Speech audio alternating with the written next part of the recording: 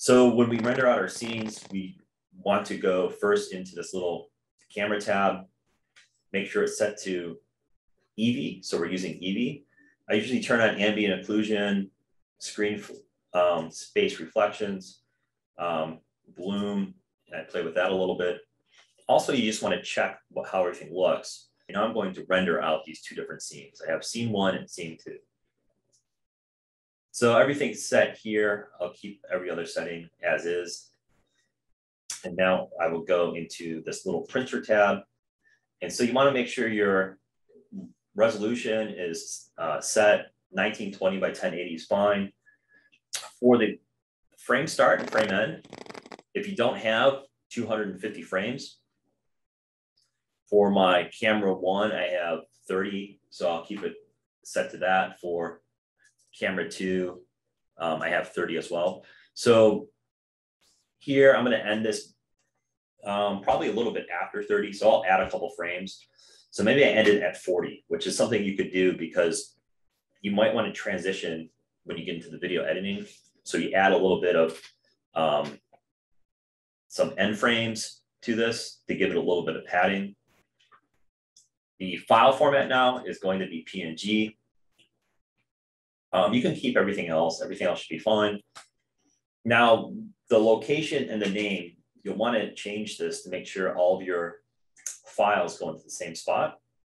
So I'm going to click on the folder and I'm going to go to my desktop and I'll create a new um, folder here. And I'll call this, um, just for my purposes, I'll call it animation test one. Uh, accept. And let's see, did it save it in there? Animation test one. Um, I'm gonna go into it, accept.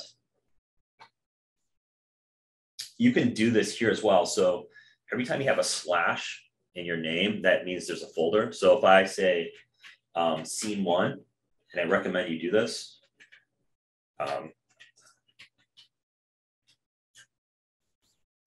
for some reason, when I type in here, it wants to delete what I had. So the other thing I'm going to do is go to copy, um, add my, okay, now it's okay, add my scene one here. So I have another folder set now because I created a slash. I gave it a name called scene one. I'm going to hit slash again. Um, and this time, I'm going to give this a name. So I'm going to call this um, box underscore fall. I'm going to do one more underscore. So when I do that last underscore, that's where it's going to add the number of the frame. So if I have 30 frames, it will add a one, a two, a three, or four. But the other thing I like to do is add two number signs. So if you have um, like frames that are under 100, you add two number signs and it will pad the numbers. So you want to make sure that the animation starts at zero one.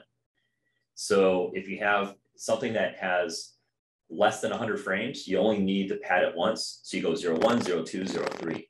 If you have anything that's over 100 um, and under 1,000, you want to pad it three times. So when you start, it'll go 0, 0, 1. And the reason you do that is because when you when you render out the image sequence, if you start at one, then if you go into some video editors, it's going to look at your full sequence and it will think that after you go to one, you go to two, but then it might go to 20, and then it goes to three, then it'll go to 30. So the padding assures that you always have the correct sequence of your animation being imported. Now with Blender, it works a little differently, and I'll show you why. So, um, but your numbers should always be padded with a zero or a couple zeros based on the amount of animation. So that's why I add these number signs here. So once I have that, that should be good. Then I want to, um, so the next little tab over, if you're doing any type of compositing where you're, you're separating the background, you're separating layers, you can actually do that here where you can render out all these different uh, types of properties as different layers, and then you kind of bring them back together. For example, you can render out your shadows separately. And then in, if you do composite things, you can adjust your shadows after you render. So there's a, a technique where you adjust all these things afterwards. Um, but we're not doing that here. So this is fine. We can keep that as is. And then right here, this little cone icon, this is where you pick your camera. So this is where you want to make sure you pick the right camera. So for this render, I'm going to pick 001. And then after that, I should be all set. So once I have everything all set, you can just go in the render and say render animation or control F12. You can also go into the rendering tab if you want to watch it, and then you can say um, render animation. So I'm going to start rendering. So this is our first camera. So this is the camera that's rotating around Suzanne, so I can see that render happening. So it's going to render out 40 frames. And then it's done. So I have that set there. So I got 40 frames from that camera. So I'm going to go back out in the layout and now I'm going to select camera two.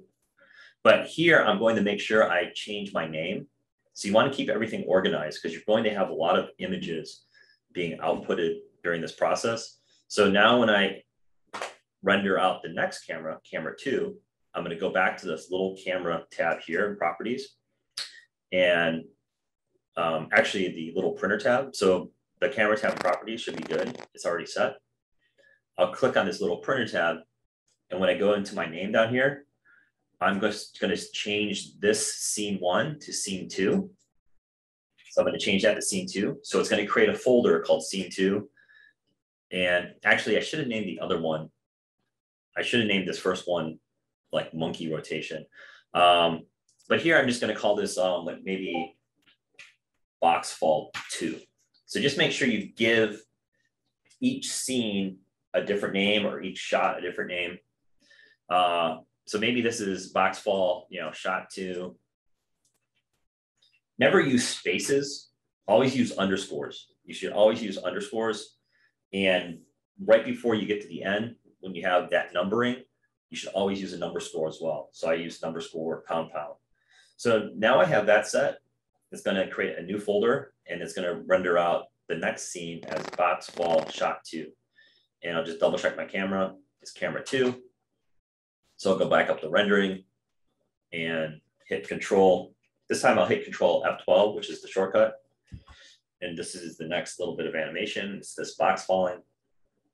I got some of these characters in the background, which are purple because they don't have textures on them. So that's my second uh, bit of animation. And it's almost done. And there it is. So I have 40 frames of this box falling.